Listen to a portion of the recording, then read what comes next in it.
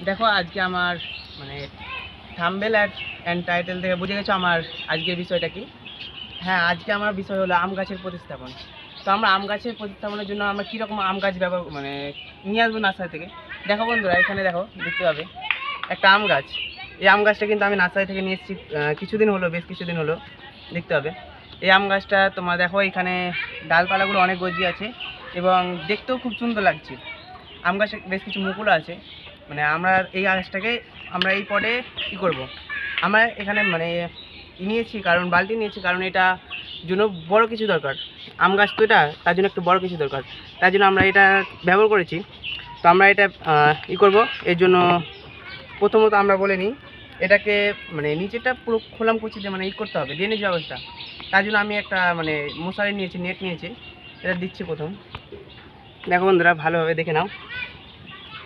তারপরে দিচ্ছি খোলাম কুচি। তোমরা পেয়ে যাবে এলাকায়। মানে যে কোনো ওই সি পাওয়া যাবে। সে তোমাদের যে সবই আছে, ওগুলো দিলেই হবে। খোলাম কুচি দিলাম, আমি ভালোভাবে মানে পুরোটাই করে দিলাম। এরপর আমি দেবো বালি। ড্রেনেজ ব্যবস্থা মানে করার জন্য আমি বালি দেবো এর প্রথম।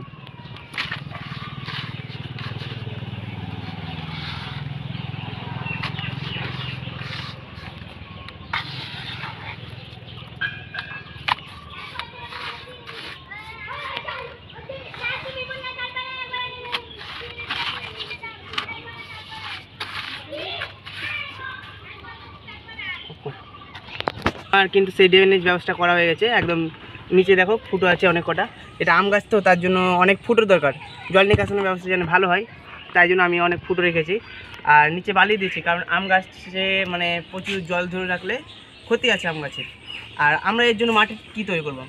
আমরা এর জন্য মাটি তৈরি করব তোমার চল্লিশ পার্সেন্ট মাটি আর তিরিশ পার্সেন্ট মতো ভার্মি কম্পোস্ট এবং বাকিটা হচ্ছে তোমার বালি। আর আমরা কিছুটা নেব পনেরো পার্সেন্ট মতো নেব তোমার পাক মাটি, যেগুলো মানে পুকুরে যেগুলো মাটি হয় সেই পাক মাটি নেব। এই মাটিতে আমরা ভালোভাবে মিক্স করব আমার মিক্স করা অলরেডি হয়ে গেছে দেখো মাটি। এই যে মাটি আমার, এটা দেবো আমরা। আর এর সাথে আমি মিশিয়ে মিশিয়েছি ভার্মি কম্পোস্ট অ্যান্ড আর দিয়েছি তোমার গোবর সার। আমাদের এখানে ভার্মি কম্পোস্ট গোবর সার কিন্তু হ্যাঁ গোবর সার দিতে হবে পুরনো এক বছর। মানে এক বছরে পচানো গোবর সার। অথবা তোমরা পাতা পচা সারও দিতে পারো এক বছরে পাতা, অবশ্যই কিন্তু পাতা পচা সার কিন্তু এক বছরে হতে হবে। ঠিক আছে? এর সাথে আছে কিছু হাড় গোড়া নিমখোল আর নিজের পরিমতো দেবে। তোমাদের দেখবে, প্রতিটা মানে দশটা বারো ইঞ্চি টবের জন্য এক মুঠো করে নিম নিমখোল আর হাড় গুঁড়া। অপর। সাথে দিয়েছি এক চামচ মতো তোমার এসওপি সালফার অফ পটাশ এইভাবে আমরা ভালো মাটিটাকে মিক্স করে নিয়েছি। আমার অলরেডি মিক্স করা হয়ে গেছে। দেখো, এবার আমরা এই গাছের জন্য বসানোর জন্য দেবো। তো মাটিটা দেওয়ার সময় দেখো, আমি কিন্তু ভালোভাবে মানে দেখো, দিচ্ছি। ভালোভাবে মাটিটা চেপে চেপে দেবে। ওকে। আর মাটিতে ভালো হয় চেপে চেপে দেবো, দেখো। দিচ্ছি। দেখো কীভাবে দিচ্ছি, দেখে নাও। কারণ এর মধ্যে যদি বাতাস থেকে যায়, তাহলে সেটা কিন্তু পরবর্তীকালে আমাদের মানে ক্ষতি করতে পারে বাতাসগুলো। তাই জন্য আমরা ভালোভাবে চেপে চেপে দেবো। দেখো।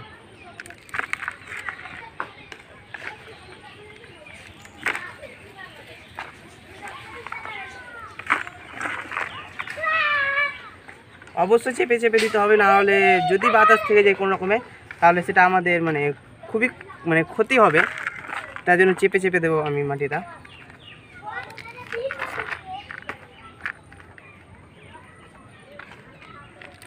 দেখো, এবার কিন্তু আমরা দেখব কতটা জায়গা হচ্ছে আর কতটা হচ্ছে না।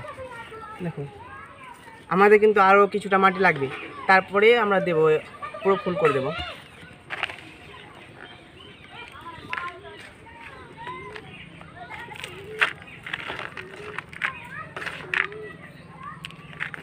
আর মাটিতে কোন রকমের ইট পাথর থাকা যাবে না অবশ্যই। সেটা একটু দেখে নিতে হবে মাটিতে। এবার আমরা গাছটা বসাবো। এটা, দেখো এই গাছে কিন্তু মুকুল আছে হ্যাঁ?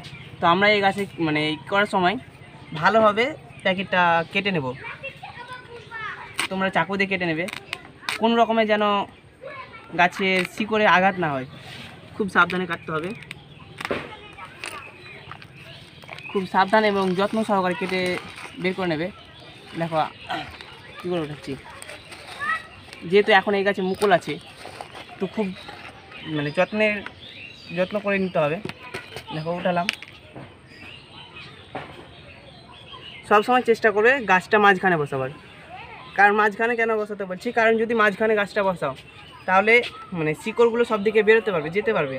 তাই সবসময় চেষ্টা করে মাঝখানে বসানো। আমি আর কিছুটা মাটি দেবো এখানে। অবশ্যই মাটি কিন্তু চেপে চেপে দেবে। আমি আগেও বলছি, এখনও বলছি, অবশ্যই মাটি চেপে চেপে দেবে। এবার আমি গাছটা বসাবো। তোমরা দেখে নেবে মাঝখানে অবশ্যই গাছটা যেন মাঝখানে হয় বসানো। দেখো আমার প্রায় মাঝখানে বসানো হয়ে গেছে গাছটা। দেখতে পাচ্ছ তোমরা বোধ পুরো একদম মাঝখানে আছে। এরপরে মাটি দিয়ে দেবো পুরো, সব দিকে মাটি দিয়ে দেবো।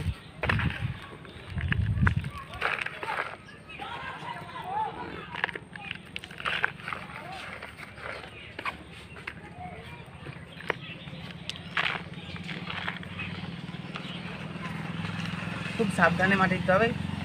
অপরে। আর মাটি কিন্তু চেপে চেপে দেবো। পুরো দিকে একই রকমভাবে মাটি দেবো।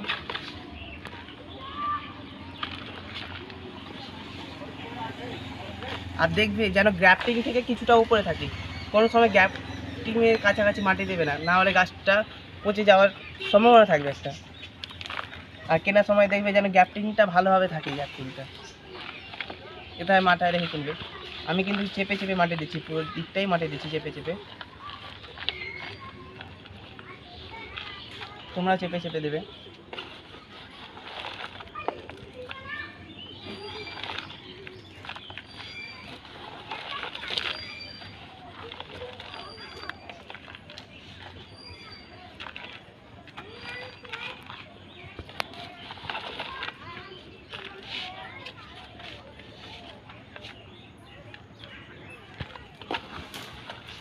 আমাদের মাটি দেওয়া শেষ হয়ে গেছে। এবার যেটা বলি জল। আমরা জল কীরকম দেবো আর কখন কখন জল দেবো? দেখো, এই গাছ কিন্তু বেশি জল পছন্দ করে না। আর মানে কমও জলও পছন্দ করে না। অবশ্যই আপনাকে বুঝে বুঝে সেটা জল দিতে হবে। তো আমরা জল কীরকম দেবো? এখন যেহেতু বর্ষাকাল চলছে, আমরা কিন্তু খুব অল্প পরিমাণে জল দেবো। আর আমি আগেও বলেছি, গাছ লাগানোর পরে মানে আমরাকে মানে পুরো ফুল করে দিতে হবে জল। তারপর দেবো। জল দেওয়ার সময় অবশ্যই আমার যেহেতু মগে মানে এই ওটা খারাপ হয়ে ঝর্ণাটা খারাপ হয়ে গেছে, তাই মগে দিচ্ছি। মগে দেওয়ার সময় অবশ্যই মাথায় রাখবে, জলটা ডাইরেক্ট যেন মাটিতে না পড়ে।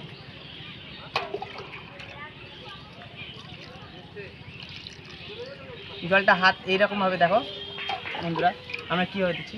এরকমভাবে হাত রাখবে, হাতের উপর রেখে দেবে, তাহলে মাটিতে জলটা ডাইরেক্ট পড়বে না, এবার মাটিটা যদি এক জায়গাতে মাটি মানে জলটা পড়ে, তাহলে জায়গাটা মানে গর্ত হয়ে যাবে। তো তোমরা অবশ্যই জলটা একটু বুঝে বুঝে দেবে। আর এখন তো মানে বৃষ্টির সময় চলছে না, আমি একটু জলটা কম দিচ্ছি। আর মানে অন্য অন্য সময়তে তুমি জলটা পুরো একদম ফুল করে দেবে।